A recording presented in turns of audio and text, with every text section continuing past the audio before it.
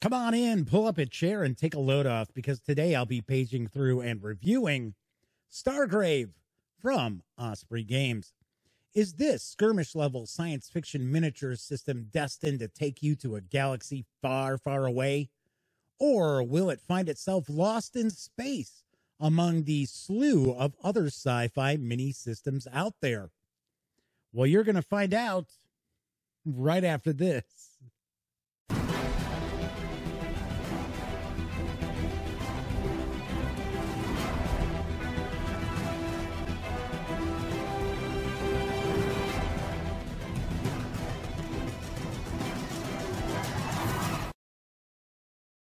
Howdy, howdy, howdy, gang. Welcome once again to the Duct Tape Studios.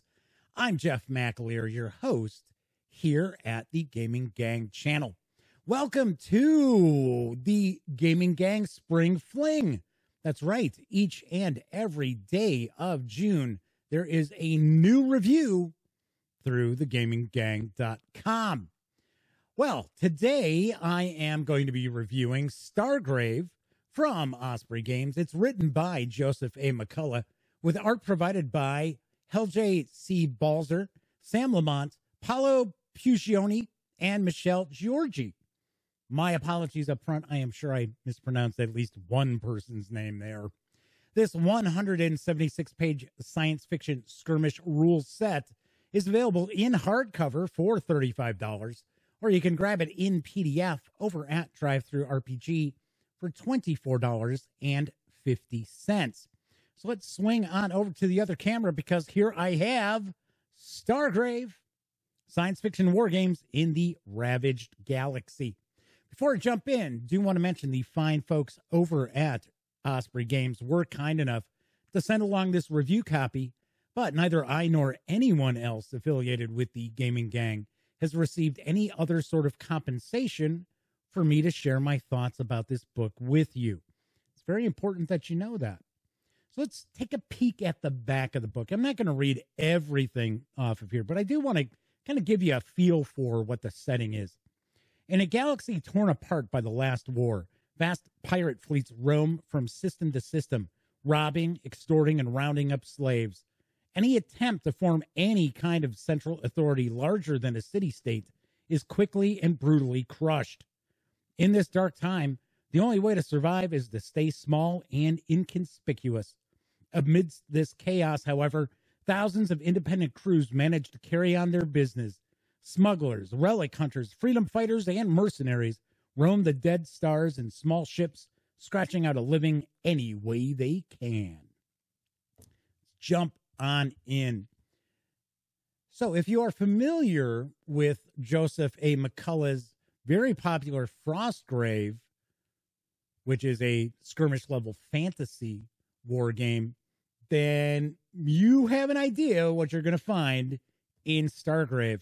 Do want to mention that uh, I have never had an opportunity to really sit down and and dig into Frostgrave, but uh, I did have a, an opportunity to page through somebody's core rulebook one time, and got to say, looked pretty interesting. So I am pumped to share what I think of Stargrave with you. So, if you're not familiar with Frostgrave or obviously enough Stargrave, this is a skirmish level game. So, you don't have hundreds of miniatures on each side.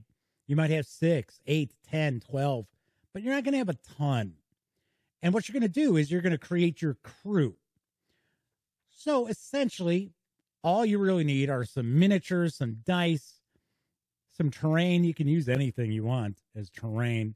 And of course, a table. And they mentioned that uh, two feet by two feet could be used for a two player game, but you want to have a little more space than that. So we'll have the crew sheet and templates at the back of the book as well. So you're going to assemble a crew. Your crew is going to consist of your captain, your first mate, and the rest of your crew. kind of your your soldiers, your grunts, your your mechanics, your your rogues, and we'll kind of get into that as well. So you're going to start off. You're going to create a captain, and there are a variety of different tropes that you can play. So if if you want to go in a direction of like Firefly, you certainly can. You can channel your best Nathan Fillion if you'd like.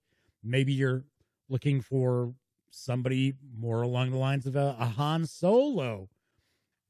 You've got a lot of opportunities here with the various different styles for you to choose from.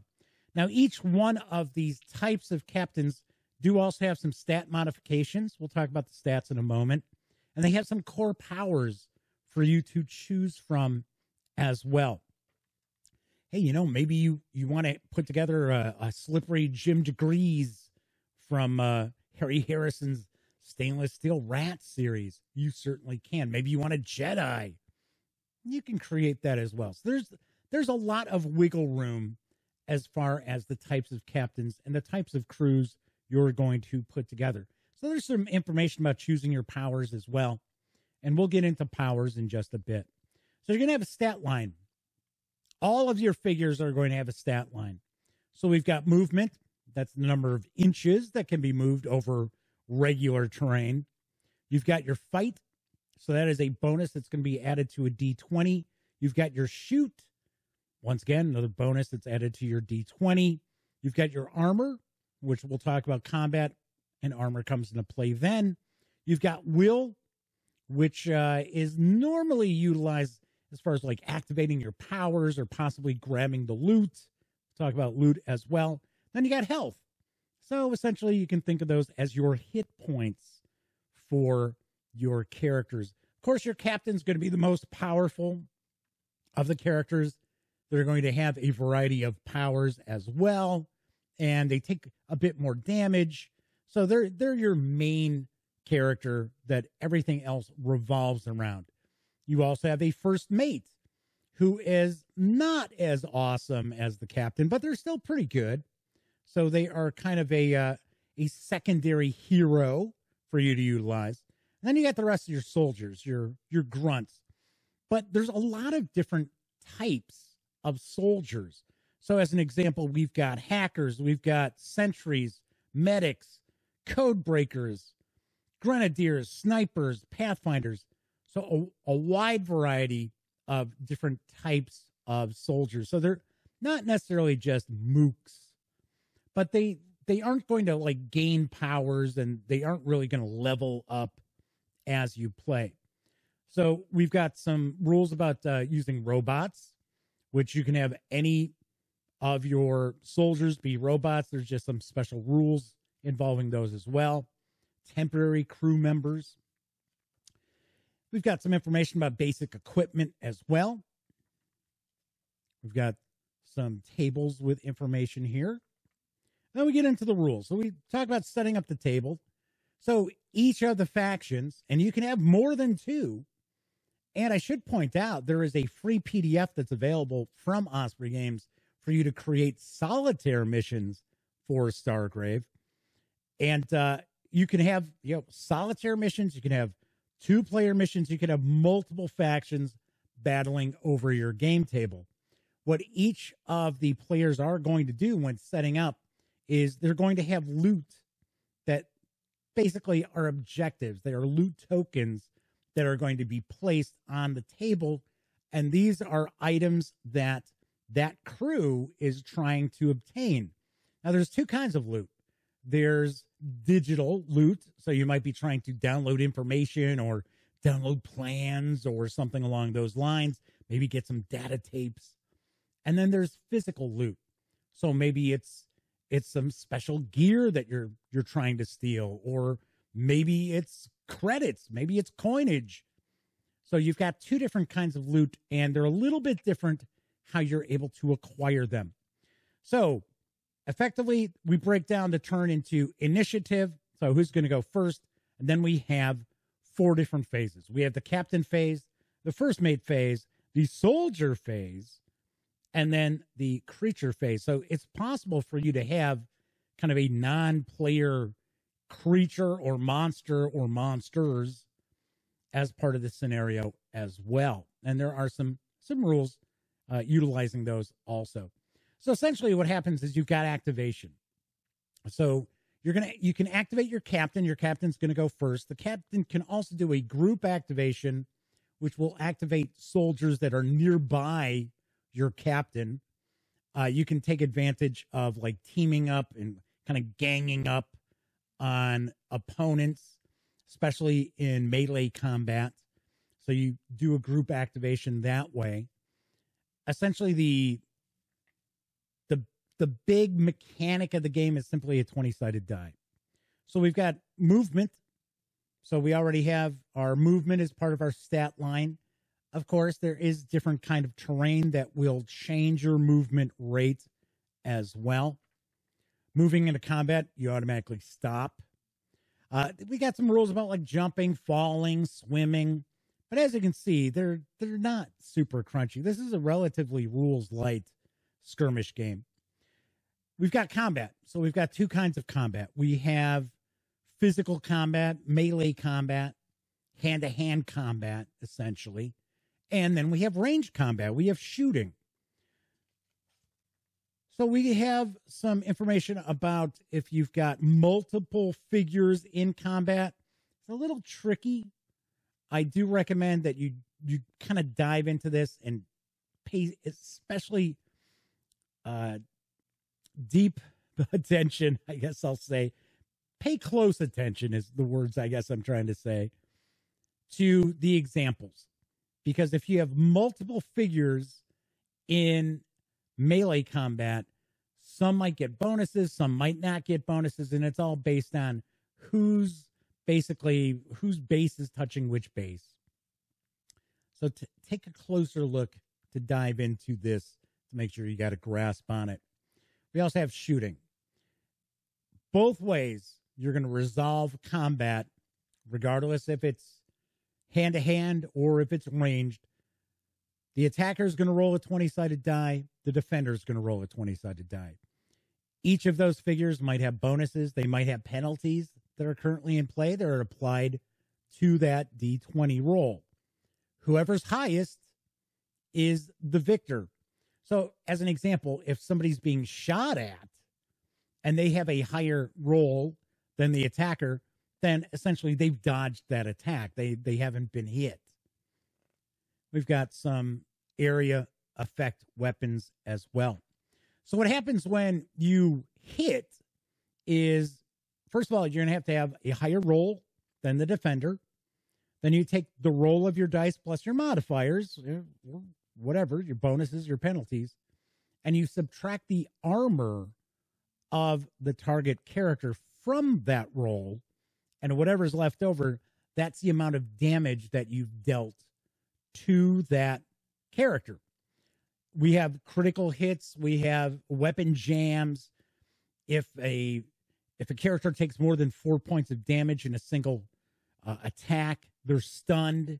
We have wounds, there's there's poisons, toxins, things like that. But all in all, very very simple. D20 plus modifiers high is the victor, is the winner. So we've got powers. We've got different powers. Some of the powers have to be activated, and you have to roll a 20 sided die for that as well. Some powers will actually cost health, cost those hit points for, for a character to use as well. So then we have collecting the loot tokens, so information about the two types of loot, as well as the non player creature actions, we've got a bit of a flow chart as what do the creatures do. The vast majority of the page space in Stargrave is devoted to campaigns and gear and kind of a role playing aspect to the game. So we've got injury and death. So if a figure is uh, reduced to zero, they're out of action. But you got to roll to see if it's a captain or first mate. You're going to check to see, well, were they killed? Did they survive? Are they, you know, scarred? Have they lost some of their attributes? Permanent injuries, for an example. And then we get a breakdown of some of those permanent injuries. We've got experience level, counting loot, talking about the different kinds of loot, different technology, and what you could possibly sell the various different technology for. Remember, your your crew is trying to score loot, That is essentially what's going on in most of the scenarios. So just giving you a bunch of different information, kind of fluff, but uh, definitely like this quite a bit. There's a lot going on as far as the campaign game, and I certainly do dig that as well. One thing that I had noticed, and, and maybe I misremember, but when I first took a peek at the Frostgrave rules, and like I said earlier, I didn't have an opportunity to read through them in depth, but I did get a chance to kind of glance through. It didn't seem like there was a lot to it. This seems like we've got quite a bit of info to be utilized. Now, a lot of this info is kind of role playing styled, which I don't know how much of that is going to translate actually to your game table, but at least it does give you a lot more flavor to the various missions. So we get a section about spending your loot, improving your ship.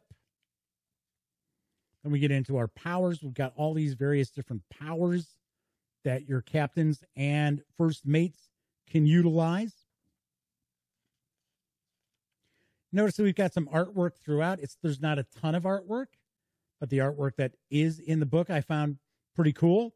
We get some miniatures as well. We get some photography of various different minis. There are no real I guess I guess I want to say that Stargrave is kind of miniatures manufacturer agnostic, but I do know that North Star Miniatures does have a Stargrave line that they're rolling out, and that is mentioned in the book as well. So we've got various different scenarios. So you can just randomly create a scenario if you'd like. So we've got different special rules for some of those as well.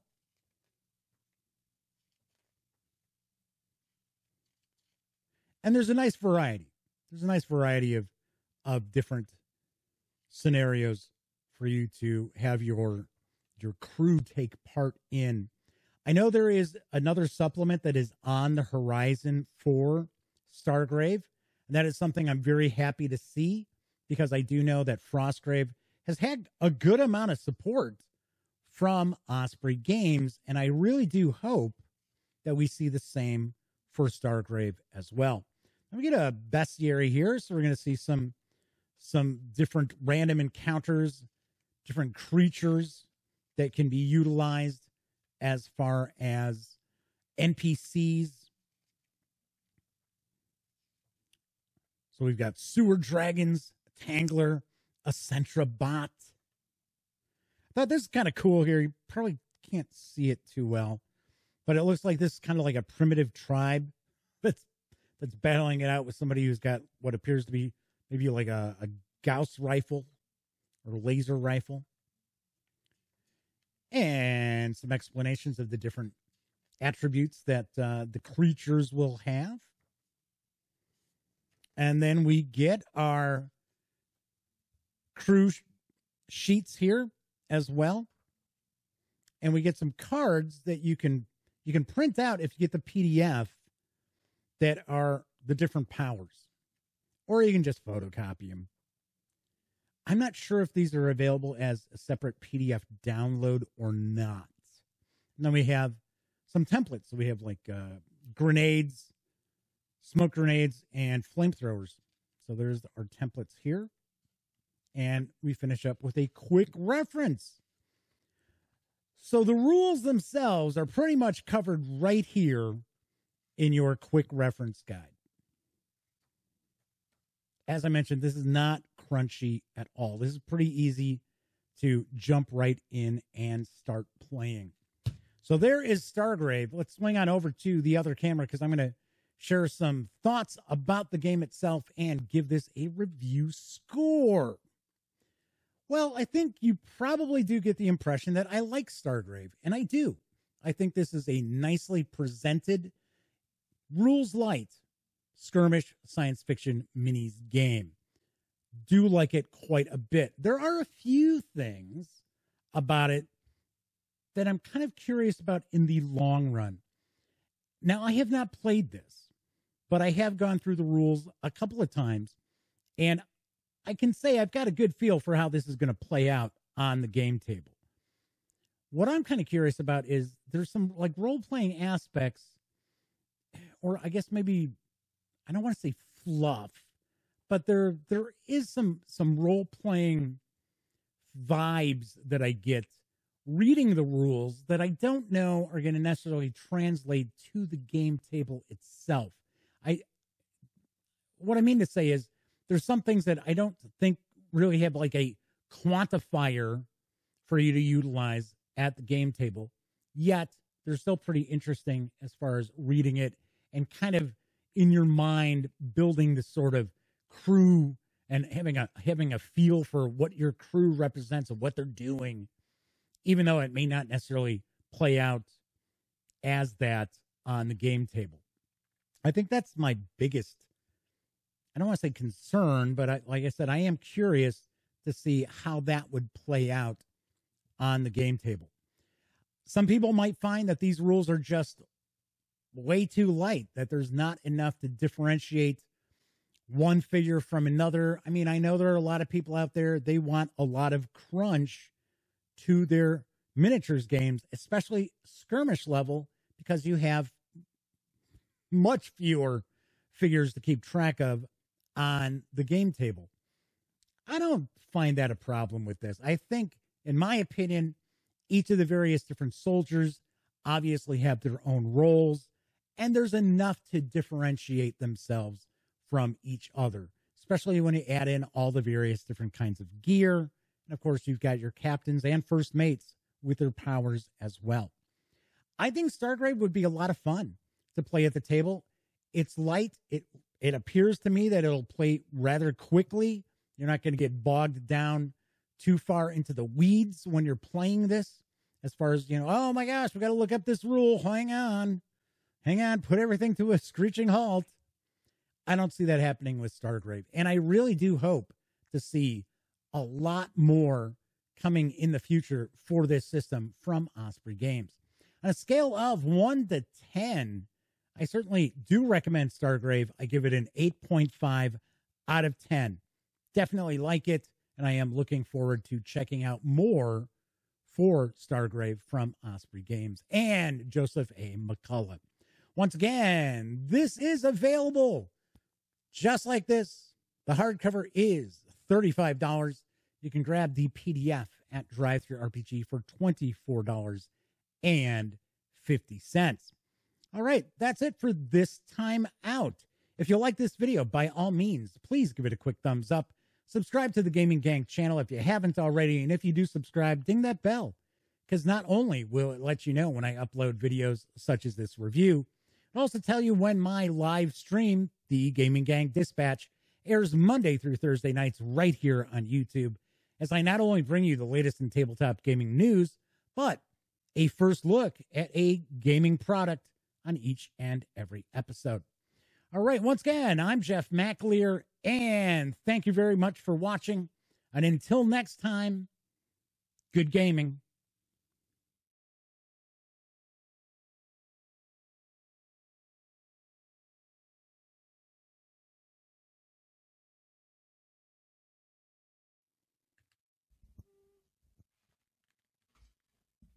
Oh, you're still here. Well, while you're kicking it, how about subscribing to the Gaming Gang channel or seeing the latest episode of the Gaming Gang Dispatch or finding out what YouTube recommends you check out here at my channel. And of course, don't forget, get your geek on at thegaminggang.com